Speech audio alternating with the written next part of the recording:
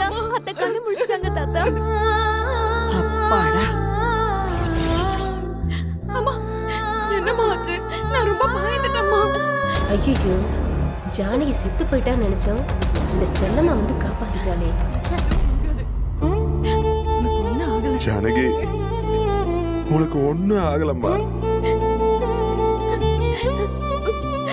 அத்தை உங்களுக்கு ஒண்ணுமே இல்ல. நீங்க நல்லா ஆயிட்டீங்க.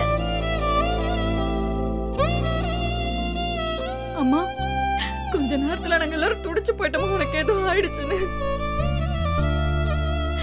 அத்தை உங்களுக்கு ஒண்ணுமே ஆகாது. கடவுள் எப்பவுமே உங்களுக்கு துணையாவே இருப்பாரு.